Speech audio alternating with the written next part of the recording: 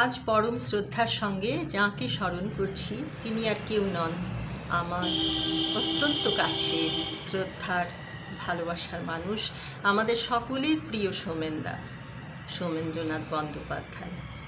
শান্তিনিকেতনের রীতি অনুযায়ী আমরা দাদা সম্বোধন করতে অভ্যস্ত অধ্যাপকদের। শান্তিনিকেতন ছাড়ার বহু বছর পর যখন নতুন করে যোগাযোগ হলো আমাদের, তখন শান্তিনিকেতন ওর সত্যশ্রী বাড়িতে বসে জিজ্ঞেস করি, সোমেনদা, আমি আপনাকে দাদা বলছি। বললেন, সোমেনদা, তুমি তো আমার বোন, দাদাই তো ডাকবে। সেটা কতটা আন্তরিক তাই ভাবলাম, অভিভূত হলাম।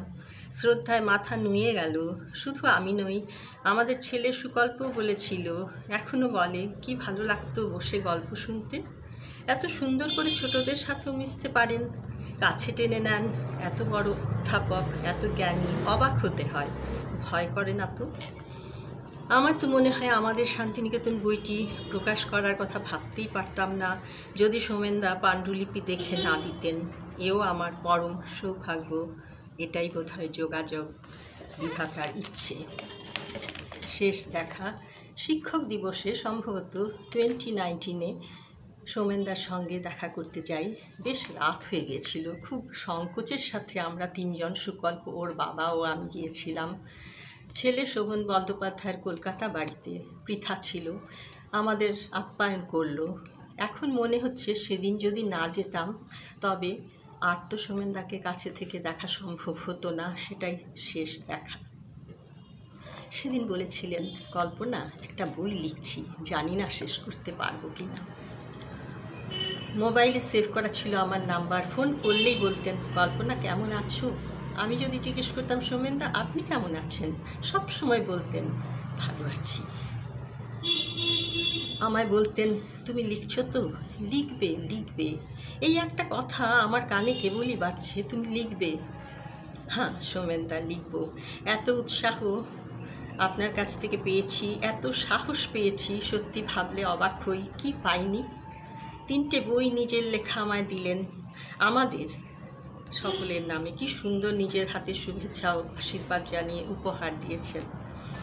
গৌহাটি থেকে যখন কথা বলেছি, তখন বলতেন, তুমি যখন কলকাতা আসবে, তখন আরও একটা বই তোমায় দেব।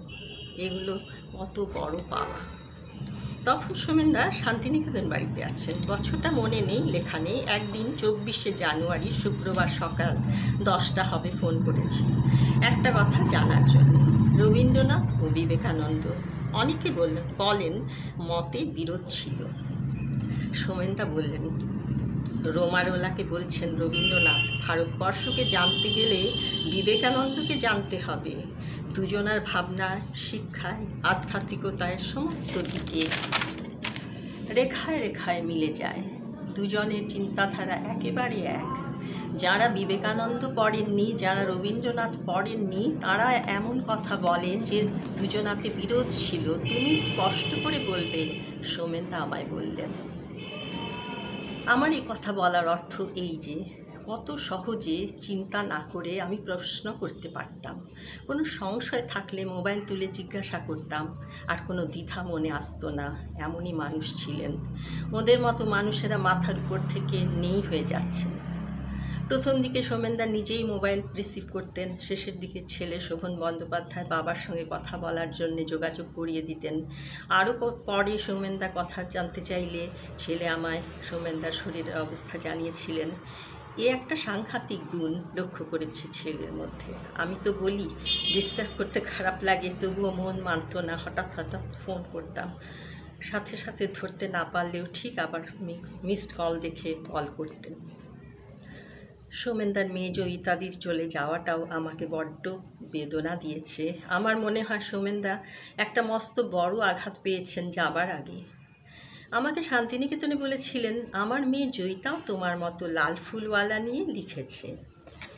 দেখা করতে গেলে বলতেন, বসো বসো, চা খাবে, মিষ্টি খাবে? আমি বলেছি, না না, সোমেনদা।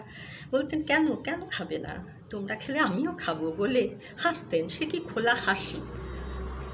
খুব শান্ত, ধীর মানুষটিকে দেখেছি।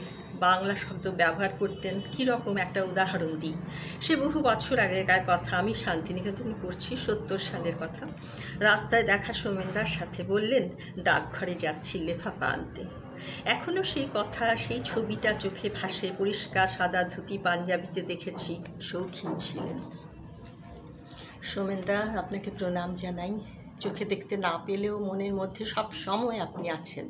আপনার আশীর্বাদ থাকবে আমাদের জীবন চলার পথে। সোমেনদার পরিবারের সকলকে আমার সমবেদনা জানাই। শেষ মানে শেষ নয়, ওদের সাথে যোগাযোগ থাকবে চিরদিন।